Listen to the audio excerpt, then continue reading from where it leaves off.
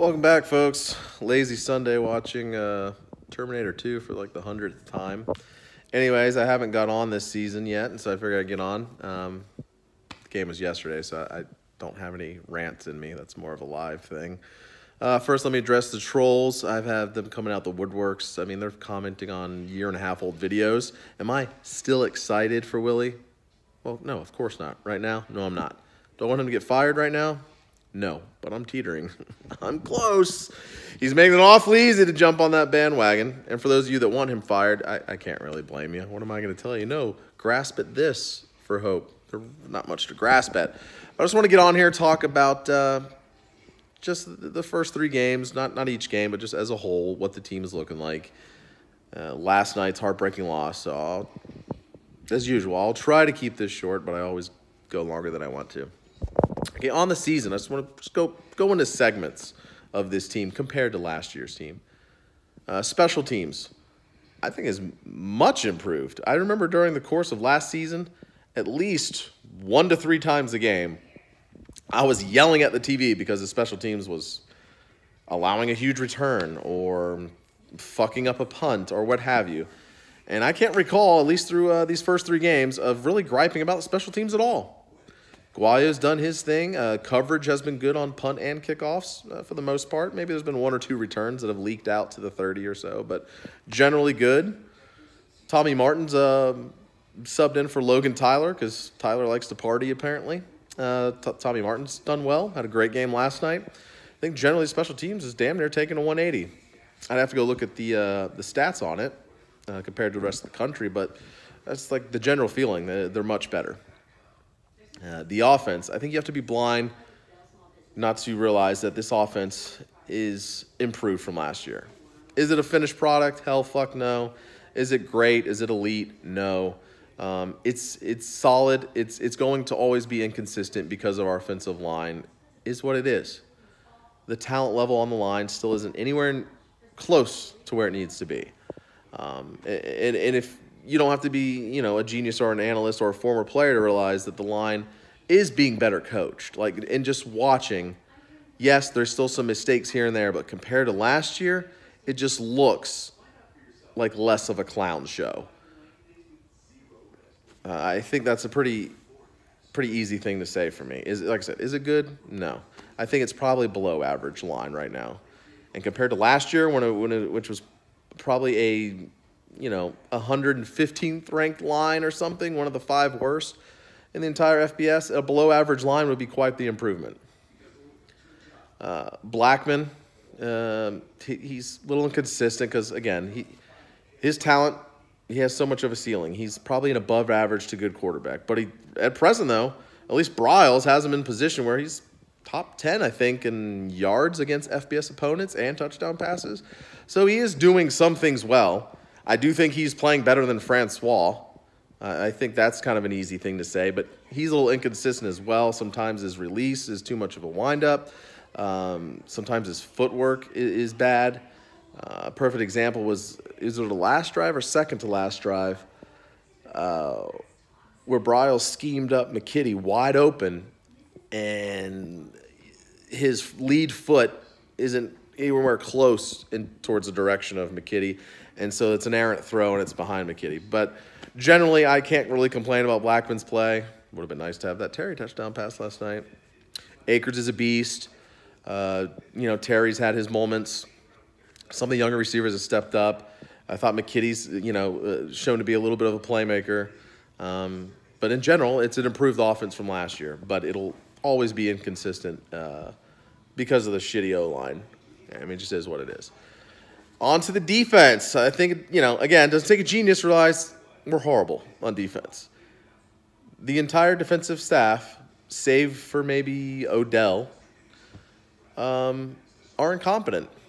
The, our players are are being coached um, by an incompetent defensive staff. There's just no other way to put it because there's a lot of talent on that defense. Um, do we we need some viable pass rushers? Which, by the way, it sucks to lose Kaindoh for I don't know how long after last night's injury.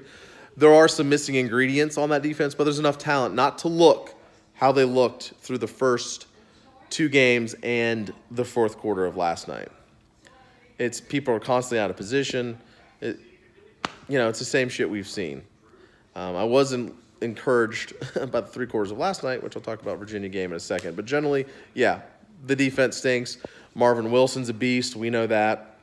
But the linebackers still don't know when to trigger, still can't shed blocks, still can't drop into coverage properly. Um, and sometimes the, the, the uh, defensive backfield looks confused. And we're playing all this zone, which is a lot of fun to just play zone as much as they have. I don't know the answer. I'm not a fucking D coordinator. But it seems to me uh, we're just not that great at it. So that's kind of the, the, the 2019 team. Uh, very brief, rudimentary um, analysis there. it is, it's better than last year's team. I mean, I, I hate to do this kind of basic comparison, but I think most of you agree would agree that the 2018 team would have went to Virginia last night and lost by 20. Now there are no more victories. I'm not fucking happy to be one and two. You know, I'm not saying good job, Willie. He hasn't done a good job overall. He's six and nine during his tenure. All right. So so far the trolls, you guys are looking pretty good. Also, fuck you, and keep commenting. Uh, but it's an improved team. I, I, don't know where we go from here. I, I don't. I still am. Eh, I'm not 100% convinced a bowl game will be made. Um, if the defense could play anywhere close to where it played or how it played in the first three quarters of last night's game, maybe you go ahead and mark a bowl, bowl game down. But I, I think we none of us can guarantee that's going to happen because now they're one and two, and you're wondering how much longer will these kids continue to buy in and put in 100% effort. They lose next week versus Louisville and go one and three. Some of these kids are going to pack it the fuck in. There's been other people discuss this, like Jeff Cameron, and I completely agree. I mean, it's human nature, right? You're listening to everything your coaches fucking tell you, and this is more direct towards the defense. You're listening to everything your coaches tell you, and the results aren't coming, so why should you continue to believe? It's like if you're in class and your teacher's teaching you, you know, this is how you solve this uh, equation, and you're listening to them, but you're still not getting the answer. So why am I going to keep listening to this stupid fucking teacher? um, but we'll, we'll see going forward. I have zero expectations, just as I had coming into the season, which is partly the reason I didn't make a video until now. Because what am I going to talk about? Oh, I, I believe we're going to do, I don't know. Uh, so let's go to the Virginia game. I'm not going to analyze the whole game. Uh, just mention that, again, first three quarters, the defense. I mean, uh, Cooper, Wilson, Durden, those guys were wrecking the interior of Virginia's offensive line. They played a fantastic fucking game. Um, I thought we looked mostly disciplined the first three quarters. I was just like watching it, and I think I tweeted out like someone put an APB out for the 2019 de- defense because this isn't them. We're actually getting stops. What? What's going on here? We're looking competent. And then, of course, the fourth quarter happened, and they allowed like 200 yards in one quarter and three touchdowns and committed four personal fouls. Now, generally, penalties don't bother me that much. I expect like six, seven, or eight each game. I just expect it. Uh, and I think Bud Elliott has an article somewhere, or there's data somewhere where it shows you penalties generally have a very low correlation to wins and losses.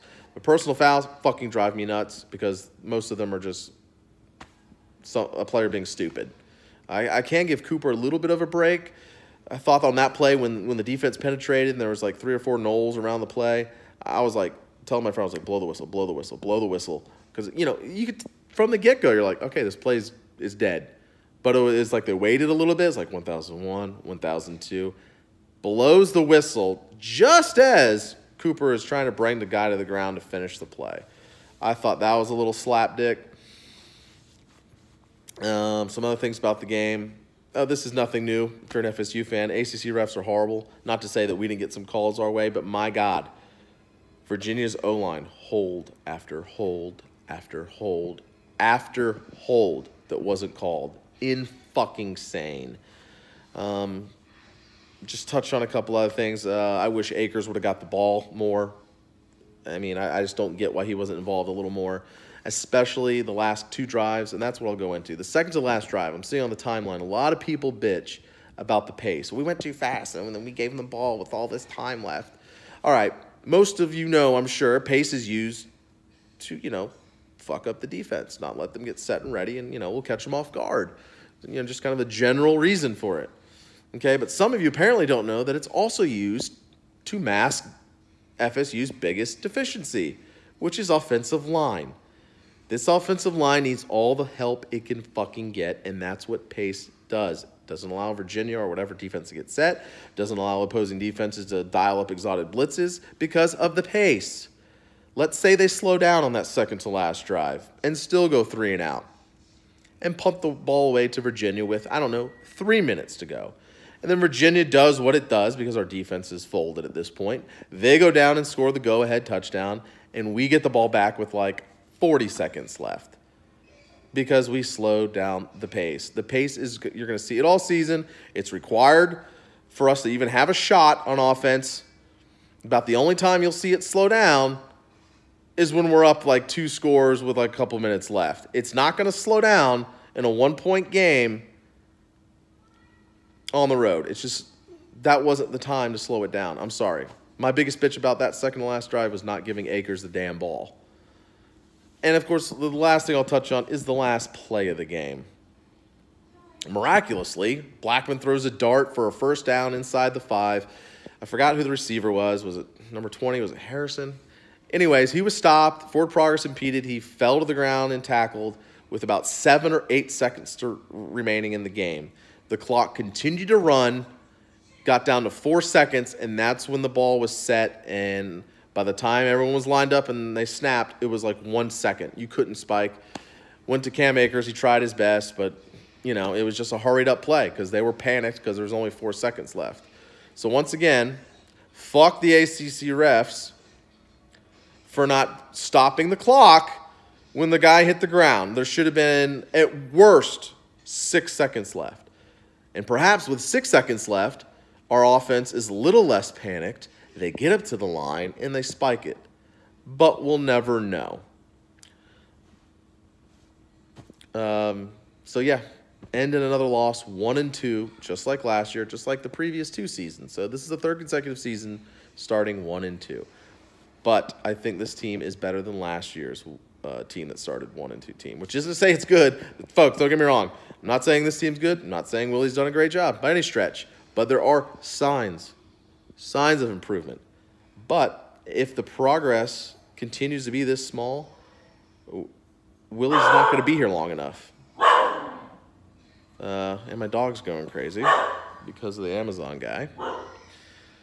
Anyways, Louisville next week like I said, go one and three, and some of these kids like pack it in. Hey, it's enough.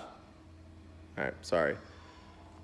Anyways, another heartbreaking loss. I, I don't really know where to go from here. I hope Jim Leavitt, the new analyst, essentially takes over. I know he's technically not supposed to call plays, but come on. Analysts around the country are doing more than they're probably prohibited or, or, or probably allowed to do, rather.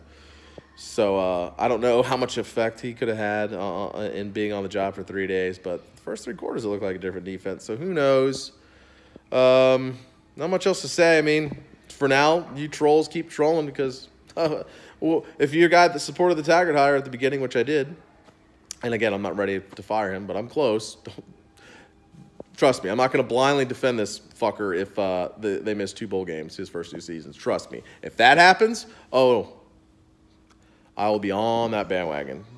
But anyways, see how it goes. I'll be back on here. You know, maybe I'll do a you know, kind of in-game video. I know people like my ridiculous, stupid rants. but until next time, talk to you later. Bye.